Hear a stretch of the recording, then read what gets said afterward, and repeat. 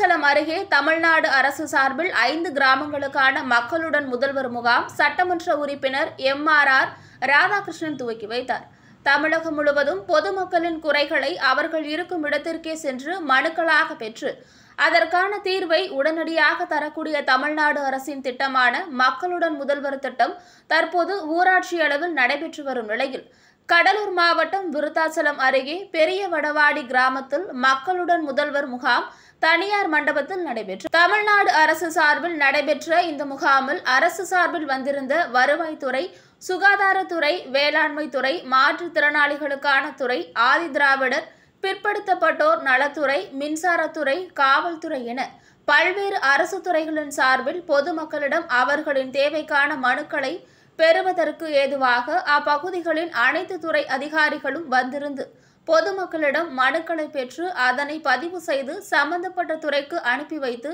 அவர்கள் குறைகளை நேரடியாக கேட்டு தீர்வுகள் தரப்பட்டது. பாருங்க